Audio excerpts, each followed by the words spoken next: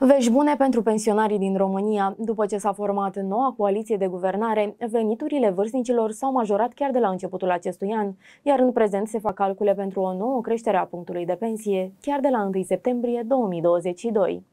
Ministerul Muncii face calcule pentru majorarea pensiilor și pentru creșteri de salarii în sistemul bugetar. Veniturile pensionarilor s-ar putea majora cu 6 sau 7% de la 1 septembrie, iar cele ale bugetarilor cu 5% din această vară. Fi un lucru bun, dar... Au nevoie pensionarii de bani în plus la... Au, au, adevărul ăsta este că Sunt mulți care chiar nu, nu au din ce să trăiesc. Eu sunt de acord să mărească. E un lucru bun? Da, da, da, e un lucru bun. Au nevoie pensionarii de bani? Cum să nu? Că și eu sunt pensionară și eu am nevoie de bani. Ce să faci cu, cu, cu, cu 1000 de lei cum e acum? 10, 10 milioane cum ar fi să fie. Anul trecut nu ați primit deloc bani la pensii? Cum Nu. a fost? Rău.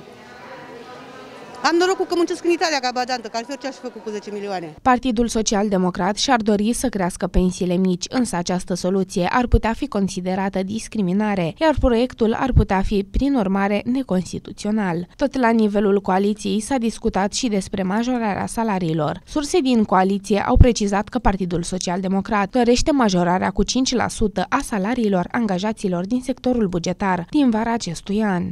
În ceea ce mă privește, nu-mi fac probleme de la, la capitolul ăsta, dar mă gândesc la oamenii, de, oamenii ceilalți, că poate sunt oameni care, într-adevăr, trăiesc din pensie și, și trăiesc greu. E grea treaba asta cu problema asta cu pensiile. De ce? Pentru că guvernanții sunt de două coloraturi, liberali și democrați.